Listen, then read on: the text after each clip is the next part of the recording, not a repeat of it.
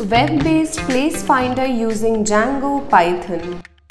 The advancements in GPS navigation have made traveling and exploring new places significantly easier. Entrepreneurs everywhere have started using navigation to lead consumers to their store. However, interruptions in the GPS signal could lead to you struggling to navigate yourself around. So, this web-based place finder uses geolocation to accurately guide users to their chosen destination. This system consists of admin and user. The admin reserves the right to add new stores. This helps to maintain reliability in the system. The admin also has the sole authority to add new users. Once the user has logged in, they can click on Find Store to view the precise location of a store near them.